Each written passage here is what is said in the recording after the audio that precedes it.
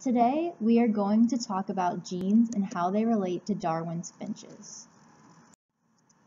Charles Darwin was a naturalist whose scientific theory of evolution by natural selection became the foundation of modern evolutionary studies.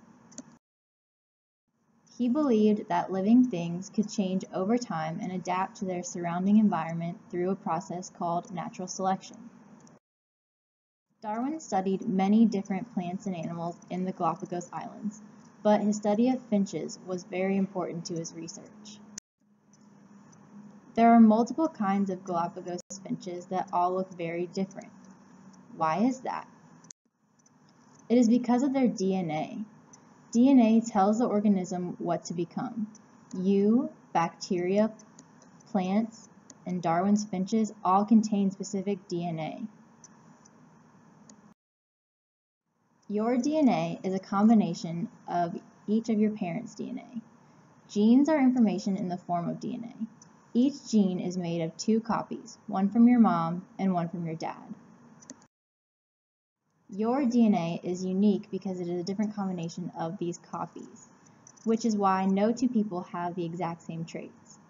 Traits are what you see, like the color, size, or shape of a living thing. Traits are determined by your genes but they can also be influenced by the environment. Natural selection is the environment's way of allowing species with the most successful traits to survive and reproduce. Species with unsuccessful traits don't survive well in their environment and therefore die off before they can reproduce. That's why we don't see giraffes with short necks or cheetahs with really long legs.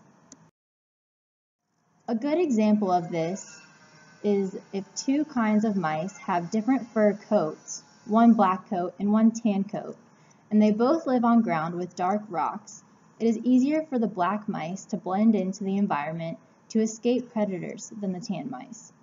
Because of this difference, the tan mice are easily seen by hawks and other large birds that like to eat mice, and they aren't able to survive or reproduce and pass on the tan coat color to their offspring. Eventually, over generations, the population of tan mice will get smaller and smaller until there are none left, while the black mice are able to survive and reproduce, and their babies will have black coats, just like mom and dad.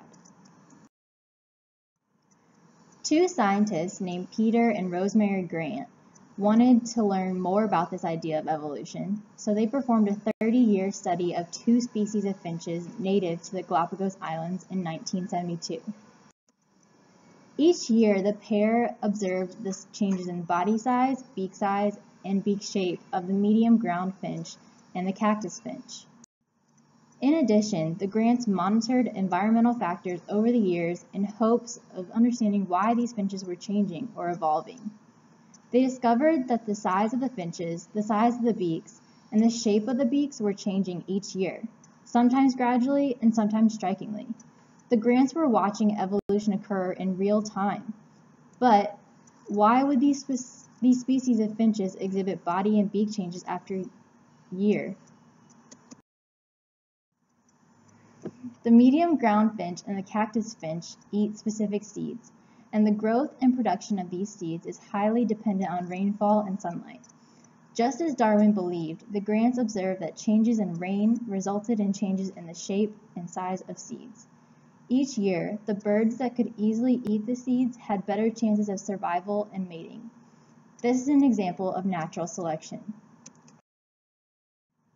In short, the Grants observed that these finch populations would adapt their body size, beak size, and beak shape in response to the composition of the seeds produced each year. Like the finches, parents can pass along desired traits to their children. That is why you might resemble your mom, dad, brother, or even great-grandfather. Traits are passed down in the form of genes throughout families. In many animal environments, survival depends on the organism's traits, so natural selection can play a big role in how the future generations appear. This is why evolution can be observed gradually, sporadically, or often unexpectedly in species like the Galapagos Island finches.